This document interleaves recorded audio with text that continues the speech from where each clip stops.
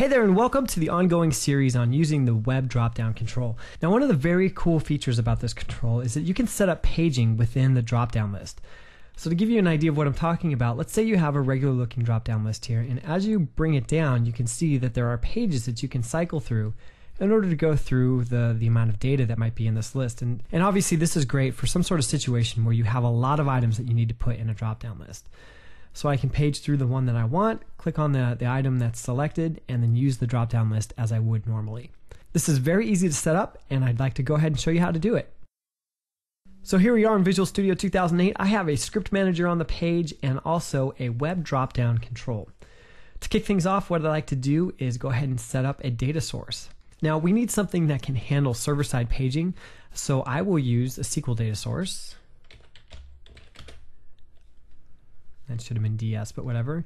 And we'll go against Northwind. So I have an existing connection string already created for me. Now from the products table, I'd like to take a look at the product ID and the product name. And that will give us the, va the values that we need for our drop-down list. Perfect, okay. Now from there, let's take a look at some of the properties of the web drop-down list. So let's go ahead and enable paging. Set that to true. The drop-down container width, I'd like to make that a little bit wider so as we're looking at um, the items within the list, we have more space to deal with. So instead of zero pixels here, let's go ahead and make it 300 pixels. Now anytime you're working with the drop-down list, you have to fill out the text field and the value field. So in this case, the text field will be product name, and the value field will be product ID. Finally, the last thing that we want to set up here is the page size.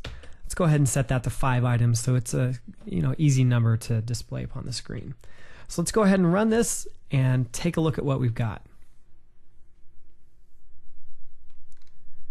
So there we go. As you can see, I didn't have to write any code. I just bound it up to a SQL data source and I've got something that's very, very easy to work with. Well, thanks a lot for checking out this video. And if you have any questions about what you've seen, please feel free to send me an email at cshoemaker at infragistics.com. If you want to take a look at the documentation for any one of our products, you can go to infragistics.com slash docs. And if you'd like to contact our support, you can go to infragistics.com slash support. Thanks again for checking us out, and make sure you check out the website where you'll find a lot more videos that'll help you get started with the NetAdvantage toolset. Infragistics. On the web at infragistics.com.